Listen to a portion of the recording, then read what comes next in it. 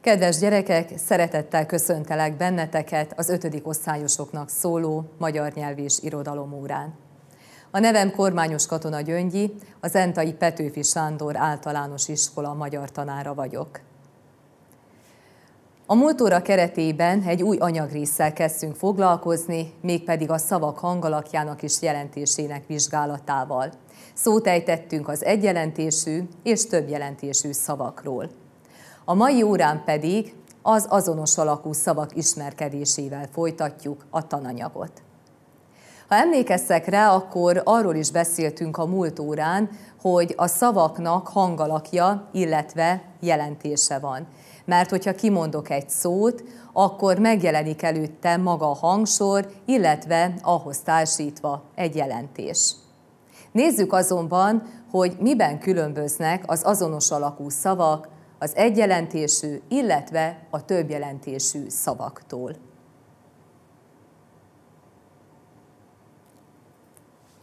Itt is érvényes az azonos alakú szavak esetében, hogy a szó alkotó elemei, maga a hangalak, amelyet nagy H-val jelölünk, illetve maga a jelentés, amelyet nagy J betűvel jelöltem.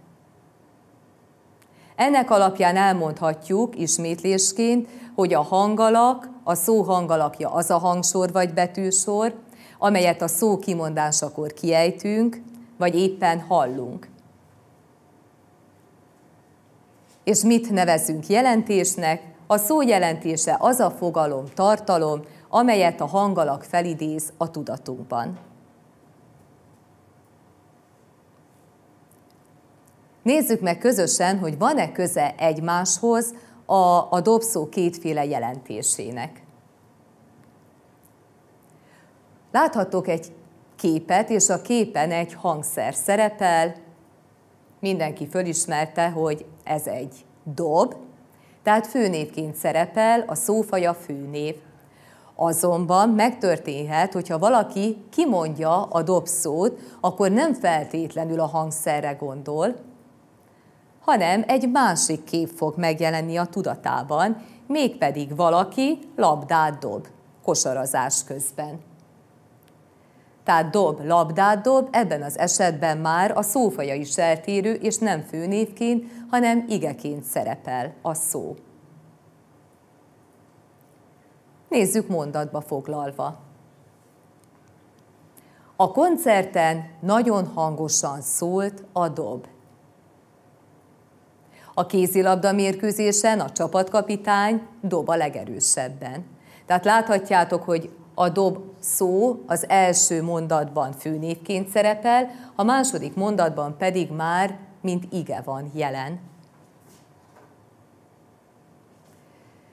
Ha rákérdezek, hogy van-e kapcsolat a jelentések között, akkor rájövünk arra is, hogy itt a jelentések között nincs kapcsolat. Emlékeztetőként mondanám el, hogy a több jelentésű szavaknál, hogyha több jelentés kapcsolódik egy hangalakhoz, akkor ott a jelentések között fönnáll a kapcsolat. Tehát valamilyen összefüggést vélünk felfedezni. Itt viszont semmilyen alaki összefüggés, tehát semmilyen ö, hasonlóság nincs a két szó között, ezért nevezzük ezeket a szavakat azonos alakú szavaknak. Nézzük meg, hogy van-e hasonlósága a nyúl kifejezés között. A képen láthattok egy kedves kis állatot, tehát a nyúl, mint állat szerepel, és a szófaja főnév. Ugyanakkor valaki valamiért nyúl a kezével. Ebben az esetben itt már igeként fog szerepelni a nyúl, mint kifejezés. Tehát még egyszer elmondhatjuk megerősítésként, hogy ezeknek a szavaknak a hangalakja azonos, de a jelentésük eltér. Nézzük meg akkor ennek alapján mit nevezünk azonos alakú szavaknak. Az azonos alakú szavak esetében elmondhatjuk, hogy a szavak hangalakja azonos, a jelentés eltérő, és a jelentések között nincs kapcsolat, nincs összefüggés. gyakran eltérő a szavak szófaja is. Nézzük, hogy hogyan jelöljük az azonos alakú szavakat. Említettük, hogy az azonos alakú szavakat nagy H-val jelöljük, tehát a hangalakot nagy H-val jelöljük, illetve hozzátársítunk egy jelentést, hozzátársítjuk a másik jelentést, de láthatjátok, itt most nincsen egy összefüggő nyíl azért, mert a jelentések között semmilyen összefüggés, semmilyen kapcsolat nem áll fenn.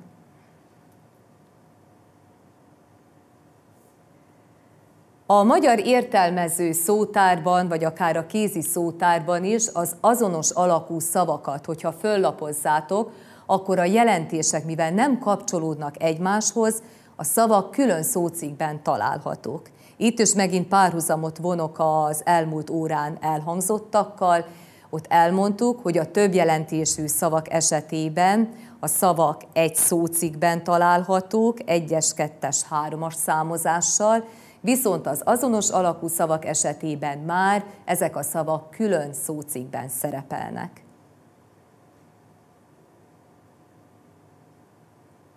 És nézzünk néhány feladatot.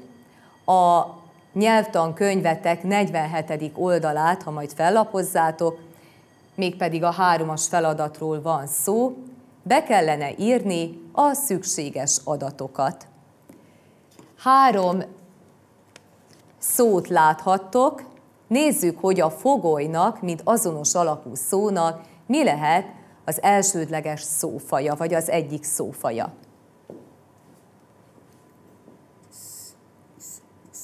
Az egyik szófaja lehet főnév.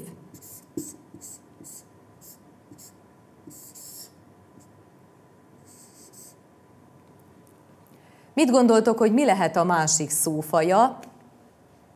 Tehát a fogoly főnévként szerepel, illetve úgy szintén főnévként fogok látni egy másik szót is, mert hogy a fogoly az jelenthet madarat,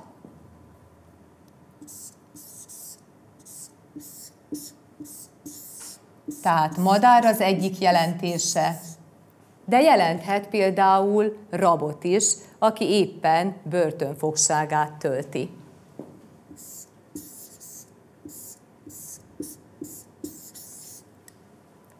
Tehát mindkét jelentés esetében a szófaj főnév. Nézzük az él szó esetében, hogy mi lehet a szónak az egyik szófaja, szófai meghatározása. Tehát lehet főnév,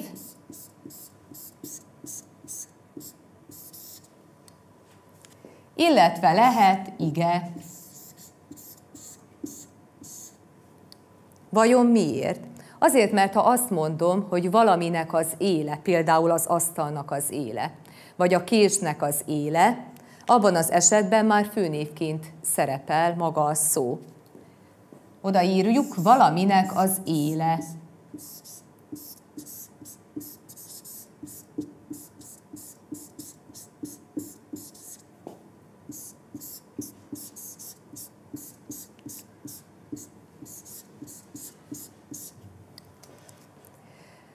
De az élszó szerepelhet igeként is, azért, mert valaki létezik. Tehát ebben az esetben magára a létezésre gondolok.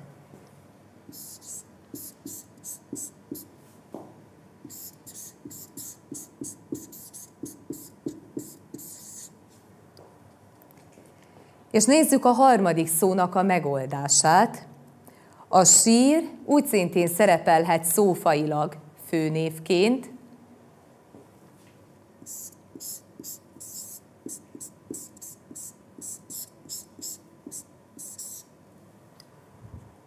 de ha megnézzük, akkor szerepelhet igeként is.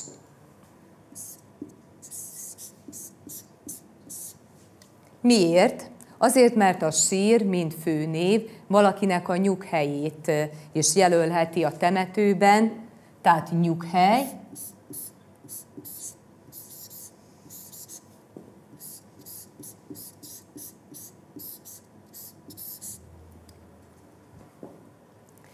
illetve a sír jelölheti az igét is, amikor valaki sír hullatja a könnyeit.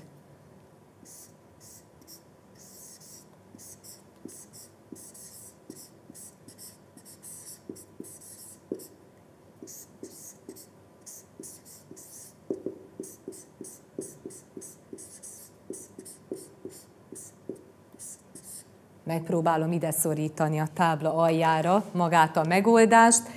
Ugye fölmerül a kérdés, hogy van-e bármilyen alaki hasonlóság az itt szereplő szavak között? Nincs semmilyen alaki hasonlóság, nincsen összefüggés, és hogyha kimondom azt a szót, hogy fogoly, vagy él, vagy sír, akkor mindig legjobb, hogyha szövegkörnyezetbe ágyazom, mert nem szavakban beszélünk, hanem mondatokban fejezzük ki a gondolatainkat, és csak a mondatokból fog a szavaknak az egyértelmű jelentése kiderülni. Itt a megoldás teljes egészében láthatjátok is, amelyről beszéltünk, de mivel ezt mi most közösen megoldottuk, lapozunk is tovább. Nézzük a következő feladatot, szintén a nyelvtankönyvetekben található, a kiemelt szavakat helyettesítsd azonos alakú szavakkal. Nem diad meg a saját árnyékától. Az almának ezt a részét adom.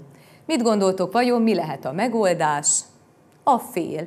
Mert ugye el is felezhetem az almát, és valaki fél retteg valamitől.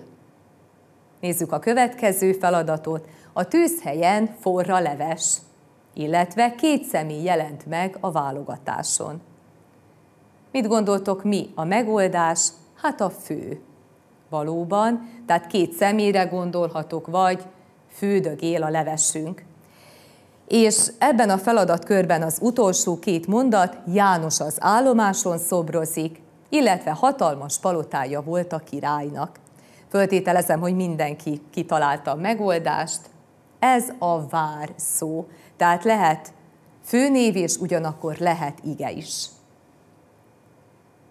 Nézzünk még néhány feladatot, a 49-es oldalon a 8-as feladatot is megtaláljátok. Egy kis játék a szavakkal, határozd meg azokat a szavakat, amelyeket egy azonos alapú szóval helyettesíthetsz. Mit gondoltok az ország, illetve az arcom része, mivel két jelentést is mondtam, mi lehet megoldásként? Ez az állam. Faparipa vagy mohón evő? Ez a falu. Porrá válik, és nem kell több. Ez az elég. Megütöm, és mély gödör. Hát itt most gyorsan megjött a megoldás. Ez a verem. Házhely, avagy évszakok, ugye többes számban mondva, mit gondoltok itt, mi lehet a jó szó, a telek, és kettészedek, avagy esetleg európai nép, hát a török. Ugye itt sincsen semmilyen alaki hasonlóság az említett szavak között. És az azonos alakú szavakkal nagyon érdekes nyelvi játékokat is lehet játszani, nézzünk néhányat. Mit gondoltok, mi lehet a következő megoldás, evőeszköz, avagy nyaraló kertesház? Ez a villa. Nézzük a következőt, ütőhangszer vagy elhajít valamit, mivel ugye az órán már volt erről szó, így könnyű a megoldás, hát a dob. A legmelegebb évszak, esetleg gyorsan növő magas törzsűfa, kitaláltátok néhányan biztosan, ez a nyár, hát a nyárfára is gondolhatunk, illatos tavaszi virág, avagy nagyméretű hangszer, ez az orgona. Nézzünk még néhányat, szánkban rágunk vele, vagy éppen kézben tartjuk. Hát itt a fogra gondolunk ebben az esetben királyi lakhely vagy hamarabb érkező teszi. Itt is már volt korábban utalás, ez a vár. Tehát lehet szófaj szempontjából főnév és ige is, épületrész vagy megérik a gyümölcs, terem, és melegedünk mellette, feltesszük a jelvényt, mit gondoltok, mi a helyes megoldás? A tűz. Nagyon érdekes feladatokat lehet a, az azonos alakú szavakkal játszani.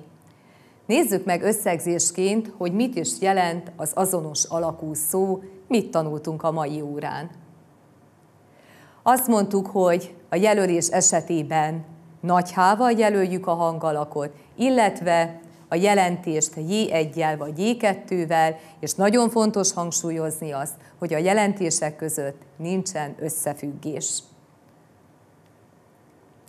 Tehát hangalak azonos, jelentés eltérő, és azt mondtuk, nincs összefüggés. De az édes anyanyelvünk keretében azért egy kis humort is belevihetünk az órába. Nézzük meg a hangalak és a jelentés viszonyát. Hát itt most egy pici francia humor következik. Jean, hová lett a szürke kalapom? Tönkrement, uram. Akkor menjünk utána. Tehát erre utaltam, hogy nagyon fontos, hogy mikor és hogyan használjátok a nyelvet, mert nem mindegy, hogy milyen szövegkörnyezetben bukkan elő egy-egy szó. Nézzük a következőt. Zsán, öntözzön meg. Minek, uram? Ki akarok kelni magamból? És nézzük a harmadikat. Két túró találkozik. Hogy vagy? kérdezi az egyik túró a másiktól. Halkabban körözött vagyok. Tehát itt derülnek ki, hogy az azonos alakú szavakat mennyire fontos jól és pontosan használnunk a megfelelő helyen.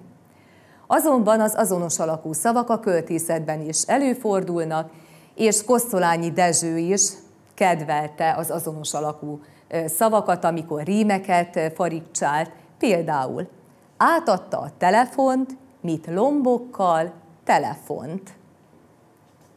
Hát ugye itt is az egyik szófaj főnév, a másik pedig ige. Nézzük a következőt. Mondok valami rémeset, ami valóban rémeset. Rendeltem málnás krémeset, és rámesett. És nézzünk még egy Kosszolányi Dezső rímet. Falába, bekoppant a ház falába. Tehát fából készült a lába valakinek, és ez koppant a háznak a falában. Tehát nem véletlenül adta Kosszolányi Dezső a Csacsi Rímek címet ennek a verskölteménynek. És néhány linkre szeretném felhívni a figyelmeteket az Anza Televízió előadásában. Egy nagyon jó összefoglalót nézhettek meg, a hangalak és a, a szavak jelentésének a viszonyáról szól, illetve az okostan is szeretném felhívni a figyelmeteket, valamint a Learning Apps-nek az oldalára is, ahol a tudásanyag megerősítésére nagyon sok jó dolgot tudtok használni. Tehát bátran használjátok ezeket az oldalakat, gyakorlás szempontjából is sokat fog segíteni.